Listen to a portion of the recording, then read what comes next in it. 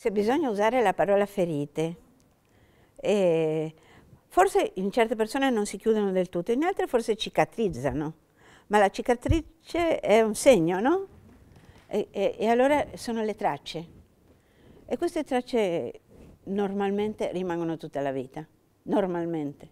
Forse in qualche caso speciale c'è qualcuno che è capace di cancellare. Io non ci credo perché credo che rimangano un po' forse sotto sotto e poi ritornano a galla in certi momenti. Anche perché forse perché sono in questo paese dove si dice che, tutti, che in Argentina o si è psicoanalisti o psicoanalizzati o sei amico di, di, di, di tutti e due. È un po' vero, eh? questo psi in Argentina è un po' dappertutto e quindi credo che rimangono, anche se tu te lo nascondi, rimangono. Cosa si può fare quando uno ha delle ferite così? Ognuno ha la sua maniera. Io, quelle mie, quella della bambina piccola, io le, le, le, racconto sempre. È una maniera, esporre, parlare, è una buona maniera di agire quando, no? E le racconto, in, ora in questo ultimo percorso l'ho raccontato un pochino di più, perché mi era successo l'anno scorso, al fine dell'anno scorso, un cugino mio a Milano mi ha portato al binario 21 dove partivano i treni per Auschwitz. Allora basta vedere quei vagoni e poi i nomi accanto per capire tante cose che tu magari già le sapevi, io le sapevo, però è stato veramente uno schianto per me. E allora ho detto no, io devo, questa volta devo cominciare con, quel, con la, la prima parte della mia storia, della mia famiglia ed è la Shoah. E mio nonno è rimasto, che come mio padre diceva non, non capiterà niente in, in Italia, figurarsi. Per fortuna, per nostra fortuna, mia madre ha convinto mio padre e siamo andati prestissimo in Argentina, ma mio nonno è rimasto ed è stato deportato. E allora, per me come bambina c'è stata la cacciata di scuola, Adesso ci sono ritornata nella mia scuola delle elementari, è stato bellissimo, molto emozionante per me, ma anche per i bambini che mi hanno ascoltato. E poi io ho avuto la mia storia argentina, con tanti fatti, qualcuno traumatico e altri bellissimi. E poi c'è stata la mia vita, che è stata una vita normale, diciamo, con un compagno meraviglioso di tutta la mia vita, è un paese ospitale, perché l'Argentina è un paese molto ospitale per tutti. E poi è, è venuta l'altra tragedia di mia figlia, diciottenne, anch'essa sequestrata, portata in un campo di concentramento, ammazzata con i voli della morte, quindi le storie di, a un certo punto si riavvicinano alle storie di mio nonno e di mia figlia, perché non ci sono tombe per nessuno dei due e perché anche tra la Shoah e quello che accadeva nei campi di concentramento argentina ci sono molte cose analoghe, ci sono delle analogie, ci sono anche molte differenze, ma ci sono molte analogie. Ma questo è tutto un altro discorso che sarebbe molto lungo adesso farvelo in poche parole.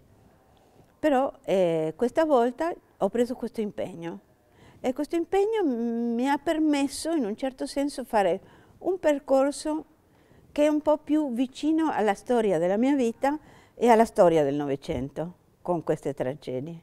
Mentre prima sempre parlavo delle due storie, ma le mescolavo e partivo in generale dalla storia argentina. E poi andavo a ritroso. E questa volta l'ho fatta così, una parte è stata destinata, avevo tre temi specificamente, uno era i luoghi del terrore, dove sono stati fatti, ter il terrore, e lì volevo soprattutto dimostrare sottolineare la responsabilità del fascismo, la responsabilità italiana, non dell'Italia, del regime fascista. E l'ho fatto, perché soprattutto sulla deportazione c'è una grossissima responsabilità.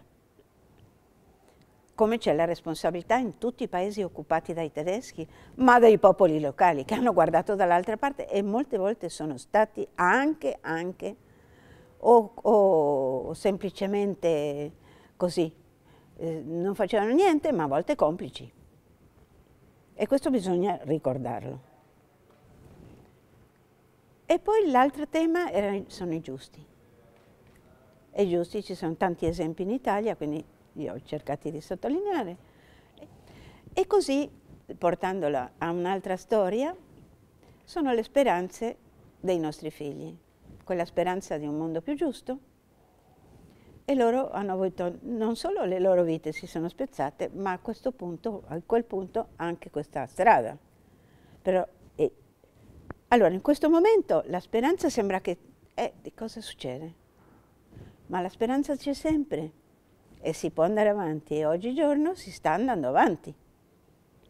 E si sta andando avanti in Argentina, in tante parti del mondo, ma le strade a volte hanno questa situazione in cui la speranza di colpo sembra che si diluisca, si perde, ma c'è in qualche parte e rinasce. E lì di nuovo c'è questo impegno a far ricordare, anche a stimolare la speranza aiutare a non perdersi e a non credere che tutto è finito, che se tu non hai un lavoro oggi non lo puoi trovare domani, ma devi metterci tutto, il tuo cervello, la tua immaginazione, la tua creatività e andare avanti. E allora su quel punto, su questo tema, che a me importa, ancora io ho da percorrere dei posti. E lì e, e anche in Argentina. E questo, diciamo, il mio, il mio impegno ha tante strade da percorrere, anch'io ho da percorrere tante strade, e finché posso lo farò. Ovviamente che non sono eterna, sarà finché mi, le mie gambe e il mio cervello mi aiuteranno. E poi continueranno gli altri.